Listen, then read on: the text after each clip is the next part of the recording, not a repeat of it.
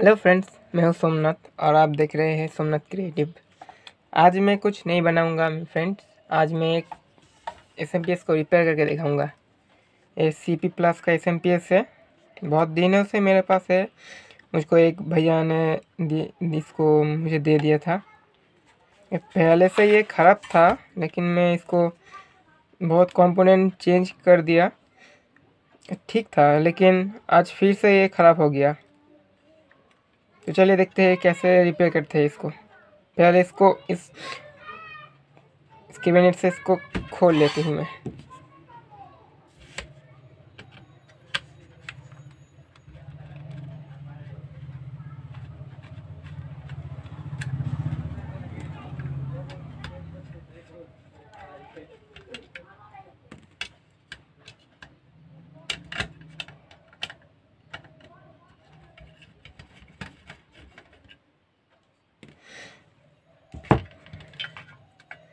इसको मैं कैबिनेट से ऊपर कर लिया। देख सकते हो आप, ये बारह वोल्ट पाँच एम्पियर का है। एक साइड रख देता हूँ। देखो, इसमें कोई बर्निंग का कोई निशान भी नहीं है इसमें। ऐसे देख कर तो इसको पता नहीं चलेगा कि कहाँ पर ये फॉल्ट हुआ है। इसको रिपेयर करने के लिए मल्टीमीटर चाहिए। तो फ्रेंड्स, आप ऐसे मल्टीमीटर को लो, ये बाज़ार में बहुत आसानी से मिल जाएगा। और मल्टीमीटर को कॉन्टीन्यूटी मोड पर सेट कर लो। ऐसे S M P S repair करना बहुत इजी है, अगर आपको पता है तो। तो इसको चेक करने के लिए शुरू से एंड तक हम चेक करेंगे, ठीक है? ये देख रहे हो ना, ये ना लाइन और न्यूट्रल का है, और ये आउटपुट वोल्टेज है। आपको यहाँ पर देखकर पता चल जाएगा, ये देखो न्यूट्रल लाइन ये है ग्राउंड यानी कि ये ग्राउंड है, और एक कॉमन और ये वोल्टेज प्लस ठीक है? तो हम शुरू से एंड तक इसको चेक करते जाएँगे। पहले कॉन्टीन्यूटी मूड पर सेट कर लो आपका मल्टीमीटर फिर सबसे पहले अब देखो कि एक कनेक्शन जो जा रही है लाइन का, पहले फ्यूज में जा रही है। फ्यूज में। तो फ्यूज को पहले चेक करो। ये देखो फ्रेंड फ्यूज ओके है एकदम। एक मल्टीमीटर बीप साउंड दे रही है, यानी कि फ्यूज ओके है। ठीक है? फ्यूज तो ओके है और फ्यूज के बाद में जो है वो इसमें जा रही है, जो कॉयल लगी है ये फ़िल्टर करता है, जो एसी लाइन का जो फ्रिक्वेंसी होता है, जो नॉइस होता है, इसको फ़िल्टर करती है। और इससे पहले देखो ये एनटीसी लगी होता है, लगी होता है एनटीसी तो एन को भी मैं भी चेक करूँगा एन को भी। इस लाइन जा रही है एनडीसी के अंदर देखो। एन का दो लेग हम चेक करेंगे। देखो एनडीसी भी ठीक है, यानी कि इतना तक तो सब कुछ ठीक है। इस कॉयल में इनपुट की तक जो लाइन है शुरू से लेकर कॉयल की इनपुट वो ठीक है। और इस, इसके बाद में हम चेक करेंगे कॉयल ठीक है कि ना। यह कॉयल भी ठीक है। हाँ फ्रेंड्स एकदम कॉयल ओके है। और इसके बाद हम चेक करेंगे ये जो ब्रिज रेक्टिफायर लगी हुई है। चार डायट के लेकर जो ब्रिज रेक्टिफायर है, हम इसको एक एक से लेकर चेक करेंगे, बारीकी से चेक करेंगे, ठीक है? तो डायट कैसे चेक करते हैं तो आपको पता ही है। जो मल्टीमीटर को प्लस और जो माइनस है, पहले प्लस को जो डायोड का सिल्वर सिल्वर कलर का जो निशान है ना, इसमें पहले आप प्लस को लगाओ। मैं थोड़ा जूम कर लेती हूँ। ठीक है। तो डायोड की प्लस में पहले इस प्रोब्स को, जो प्लस प्रोब्स है मल्टीमीटर का, इसको लगाओ। और जो नेगेटिव में ये जो मल्टीमीटर का नेगेटिव नेगेटिव वाला प्रोब्स है, इसको लगाओ। तो कोई रेटिंग नहीं आती है, यानी कि इतना तक तो ठीक है। और इसके बाद इसको पलट दो। अब पलटने के बाद भी इसको चेक करो। देखो फ्रेंड्स इस वाले डायोड में कोई रेटिंग नहीं आ रही है। इसमें 500 से 600 तक रेटिंग आना चाहिए तो नहीं है। यानी कि डायोड ख़राब है। ऐसा ही जो चा, और भी तीन डायट लगी हुई है, इस तीन डायट को भी आपको चेक करना होगा। तो ठीक है। मैं चेक कर लेती हूँ फटाफट से।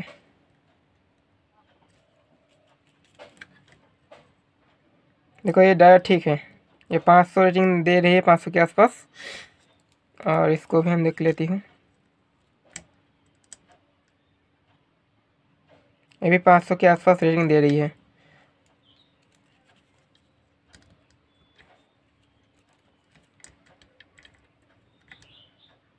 ये भी दे रही है। ठीक है फ्रेंड ये जो तीन डायोड लगे हैं, ये तीन डायोड ठीक है। अजय, ये पहला वाला जो डायोड है, इसमें कोई रेटिंग नहीं आ रही है। कोई भी रेटिंग नहीं आ रही है, यानी कि इस डायोड बर्न हो चुका है या अंदर से भी ख़राब हो चुका है। तो मैं इसको देख लेती हूँ अच्छे से। देखो फ्रेंड ये पहले से टूटा हुआ था लेग लेग बर्न हो गया।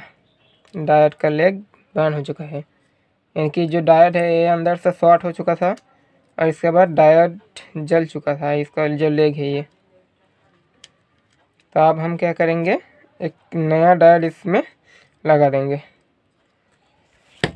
तो चलिए पहले इसको लगा देते फिर चेक करेंगे। मेरे पास फ्रेंड बहुत सारे डायोड पहले से है। अच्छा डायोड हाँ एक बात आपको बता देते हो कि डायोड का जो नंबर है, जो डायोड का मॉडल नंबर है, ये आप सेम रखो।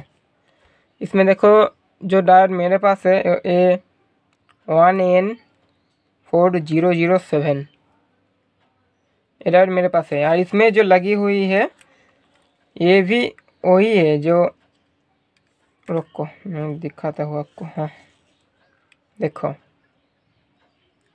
N four zero zero seven थोड़ा घिस गया है। ठीक है फ्रेंड तो डायोड हमारा पास जो है सेम ही है।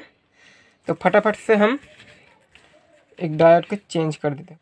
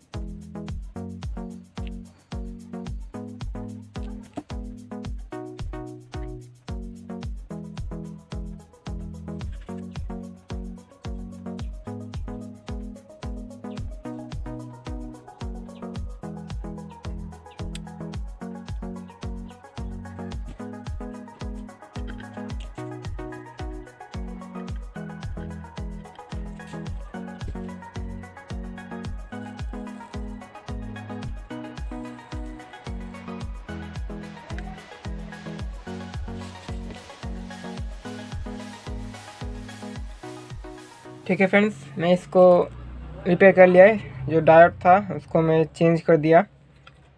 और मैं फटाफट से इस कैबिनेट के अंदर इसको फिक्स कर लेती हूँ और आपको चेक करके दिखाती हूँ। फ्रेंड्स मैं वेस्ट बंगाल से हूँ। इसीलिए मेरा हिंदी बताने में थोड़ा दिक्कत होती है। तो आप थोड़ा मैनेज कर लेना मेरा हिंदी लैंग्वेज के साथ। मैं बहुत बार क्या करती हूँ कि गलत भी बता देती हूँ। तो इसीलिए मैं आपके पास आपके पास में माफ़ी मांगती माफ़ी मांगती हूँ। इसीलिए बहुत गलत बता देती हूँ मैं हिंदी।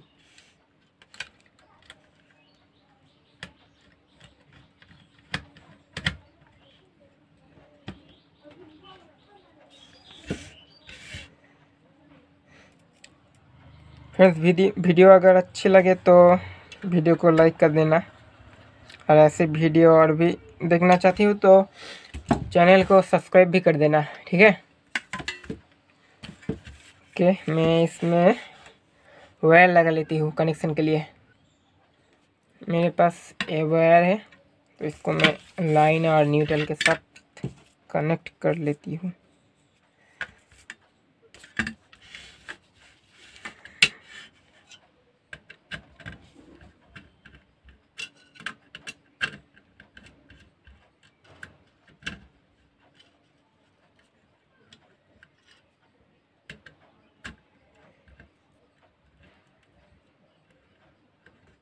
फ्रेंड्स, मैंने इसमें पावर दे दिया और आप देख सकते हो कि जो इंडिकेटर लाइट है, वो जल रही है, जो ग्रीन इंडिकेटर है यहाँ पर। तो मैं इसको डीसी वोल्टेज में रखकर डीसी वोल्टेज चेक करूँगा इसका आउटपुट में, ठीक है? बहुत सावधानी सावधानी से आपको करना होगा। करंट लगने का बहुत चांस है इसमें, ठीक है?